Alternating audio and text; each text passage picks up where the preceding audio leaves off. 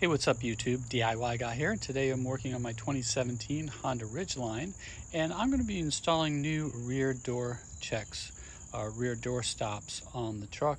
Uh, one of the issues with the early second generation Honda Ridgelines is that the rear door doesn't open up that far. Uh, so it, it's a little bit uh, hard to get in and load things in the rear door. So I'm going to be installing new rear door checks that allow it to open up wider so I'll show you the problem and then I'll walk you through the solution. So let's get started. Okay, so measuring the front door opening, if we have a measurement here, you can see that's almost 34 inches across there. So that's quite a wide door opening on the front door. Okay, so if we look at this measurement beforehand on this side, we can see that we have about um, about 22 inches here to here. Um, the door just doesn't open up. If you wanted to put a bike or something in there, you kind of have to go at an angle. You can't just put stuff straight in. So we're going to put the new door stop on and open that up wider. Okay, so going inside the driver's side rear door, uh, this is the part we're going to be replacing here. It's just not long enough to let the door open up wide. And we're going to be replacing it with the longer version, which is the ones used on the front door. There's actually two different part numbers because there's a left and right side. I will leave the part number down in the description.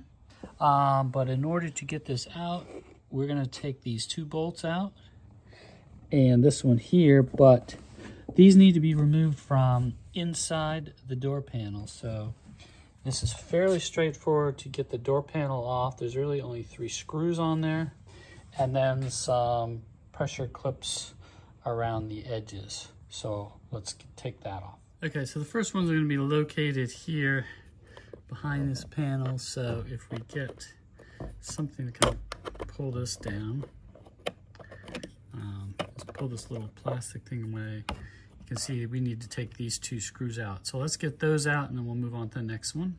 Okay, so I got those out with my Phillips screwdriver and we're gonna move on to the next one, which is going to be down here underneath this thing. So again, there's a little slot here. Get something in there and pry that up. And you can see there's another one here that we need to take out. Okay, so the next step is to pull the plastic panel off here. Now, I have a set of uh, trim, plastic trim removal tools that I typically use. Um, I will start, because I don't want to scratch the metal part. So I'm to get down underneath here and pry this out.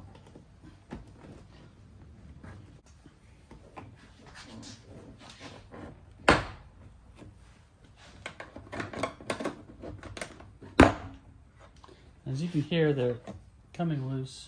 So after you get the first few loose, you can kind of grab underneath the door panel. Start pulling around the edges till you get them all loose. And then this is going to be hung up here. The top part of it is just hung on the door sill. So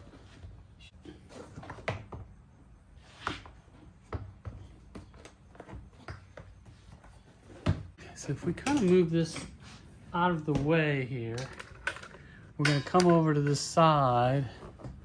We'll move this out of the way. You can see the speaker here um, has got screw that we need to take out there.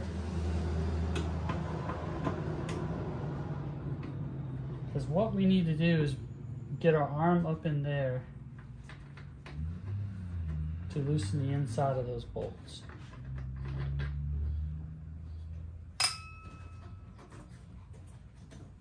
Getting after getting that one screw out, you might have to take something and pry this out. Still a little bit of a tight fit here. And then lift up on the speaker and pull it out. You can see that there's a, a few plastic clips here, so don't they're gonna go in here. So don't just pull it straight out. Make sure that those plastic clips are in there. So when you get that out, pull the top out a little bit, lift it out. Okay. Now we can just either set this out of the way or be careful of the wires.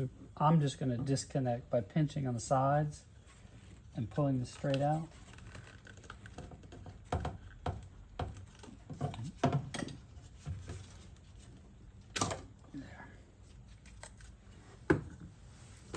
Now that we got the speaker out, got the door panel off, we're ready to take off the old door stop. So this is a 12 millimeter. We're gonna use a socket on there and take this one off first. And then, well, these are two uh, 10 millimeters. So we're gonna take each of these off. Okay, I've got the 12 millimeter bolt out. That has some blue Loctite on it, so it comes out kind of hard. Then the two 10 millimeter ones, um, they come off. Got some washers on them, so don't lose that. And then uh, this won't come out this way. That's why we have to reach up through here and take the old one out. So there we have the old one out. Now we just have to swap the new one in. Okay, so got the new one. Uh, we're just gonna swap the new one in here, but it's gonna be the reverse of what we just did. So I'm gonna take this and I'll put it up through here so that it comes out here.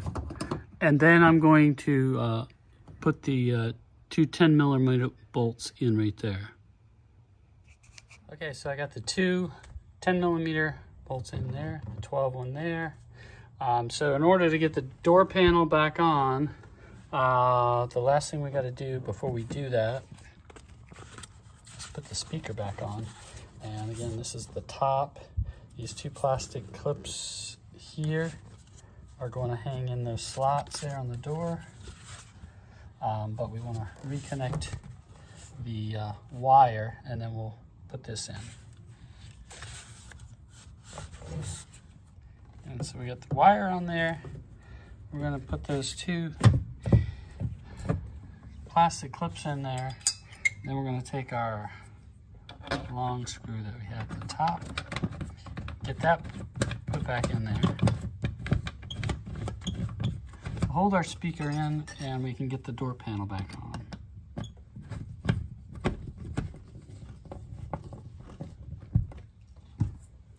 Okay, now the first step of putting the door panel on is making sure that we have the top part on.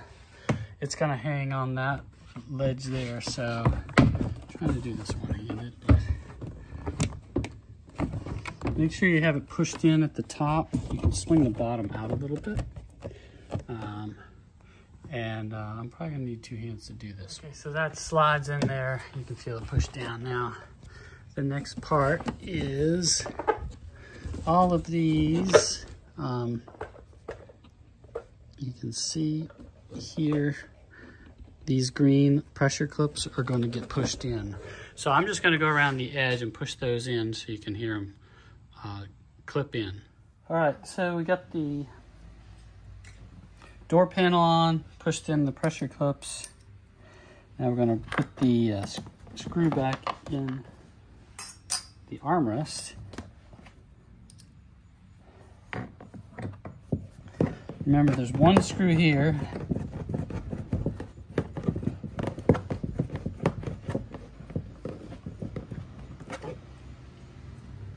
With the uh, panel that goes in there to cover that up.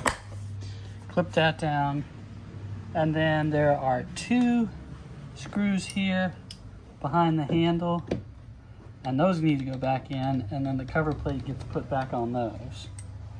And then we'll be ready to uh, kind of remeasure, show you it's not, you know, going to be 27 inches, but it'll be more than what we had.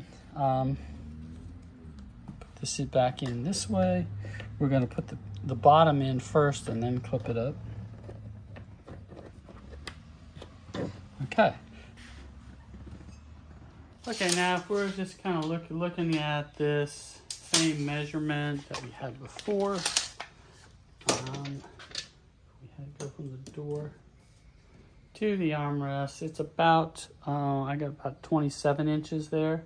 So it goes from about 22 to 27. So that gives us enough room to get things like if you if you were going to slide a bicycle in there with the seats up, you have more room. You don't have to go at an angle. You can kind of go straight in now. Okay, so that's it. You just have to do the other one the exact same way. Uh, so I'm going to go do the other one now, and uh, I hope this video was helpful. I'll put a list of tools down in the description, and if you have any questions, uh, please leave them in the comments, and if you can uh, press the like button for me or subscribe to my channel, I'd really appreciate it. It really helps me out. Thanks.